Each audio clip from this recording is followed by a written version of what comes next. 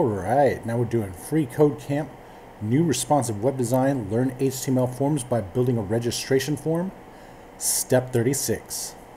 So submitting the form with an option selected would not send a useful value to the server. As such, each option needs to be given a value attribute, without which the content, pardon me, the text content of the option will be submitted to the server. Okay.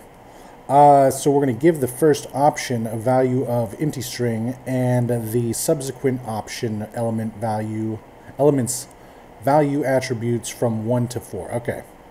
So right here we're going to say uh, pardon me value and with all of them we're going to have empty string. Uh, so let's just copy and paste this all the way down and then we'll fill them in in a second. All right, one, two, three, four, just like that. All right, and then so this one's to have uh, nothing in it, and then one, two, three, and four, just like that, hopefully. Let's see, check it. Looks good, and submit it. Now we're on to step 37, and we'll see you next time.